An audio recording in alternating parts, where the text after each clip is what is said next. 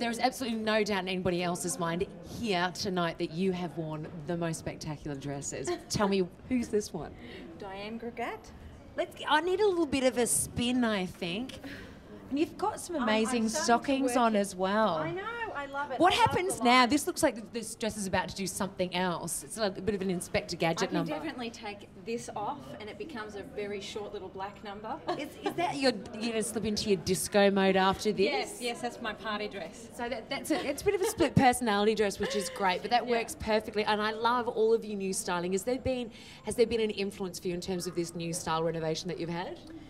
Well, I really wanted to go back. When I was a kid, I had very orange hair and stuff, so I wanted to go back to that and have a little bit more fun rather than being solemn and boring. I love it. And redhead is always so exotic and gorgeous I and powerful. I love it, and you can use more colours makeup wise. Now I'm sounding This really is girly. true. No, that's.